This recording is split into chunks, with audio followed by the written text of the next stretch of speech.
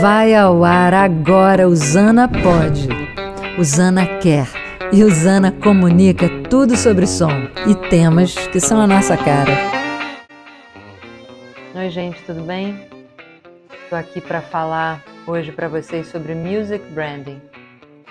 O music branding ele é responsável por criar a ambientação sonora e musical dos espaços, das lojas, espaços físicos, né? E é uma matéria que está dentro do marketing sensorial. Mas eu iria além. Eu diria que o music branding está dentro do marketing do afeto. É como eu nomeio a nossa matéria, porque música é afeto, né? Tem, não tem nada mais poderoso que o afeto, não tem nada mais que seja capaz de revolucionar a gente enquanto humanos, né? A gente é muito movido pelos afetos, né? As nossas emoções e música é sobre isso. Mexe com a gente, deixa a gente triste, louco, vontade de correr, é, apaixonado, é, dá um, muda a nossa vibração. E música é vibração.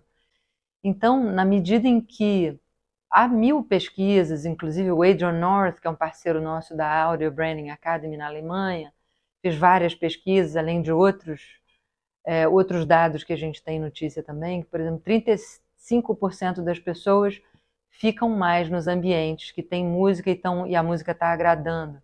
28% das pessoas compram, se se sentem confortáveis e alegres, felizes, interagindo ou percebendo e sentindo a música que está tocando nos ambientes. A música também é capaz de alterar a produtividade das pessoas, dos trabalhadores, dos colaboradores das empresas. É, é muito poder, gente. Então, está é, mais que provado que a música ela tem esse efeito, né? Então, é, no momento em que a loja, o espaço físico, decide escolher, é preciso que essa música ela seja escolhida estrategicamente, de maneira que tenha um alinhamento com os atributos de personalidade da marca, tenha um alinhamento com su, o seu propósito, por que, que essa marca existe, por que, que ela está no mundo, que música é essa? Porque a música ela vem associada a comportamento, a atitude, a moda, a jeito de pensar, a filosofia.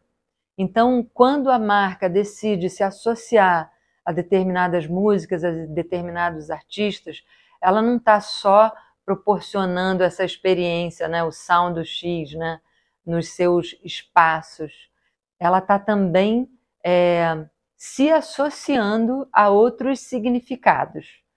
E isso significa que todo esse legado por trás desses estilos musicais, desses artistas, é, vai trazer junto. É, e a marca vai estar tá associada, e as pessoas intuitivamente percebem, elas fazem essa conexão desses artistas, dessa experiência com essa marca, e dessa forma vai se estabelecendo uma relação mais íntima, mais próxima, fazendo com que as pessoas queiram ficar mais nos espaços e queiram consumir mais os produtos relacionados àquela marca. Então, cuidem do music branding das suas lojas, dos seus espaços físicos, da sua empresa, porque ele está mexendo com as pessoas e você também está mexendo com o imaginário delas para a tua marca, tá bom? Valeu, gente. Até o próximo. Esse foi Usana Pode. Usana Quer Usana comunica tudo sobre som e temas que são a nossa cara.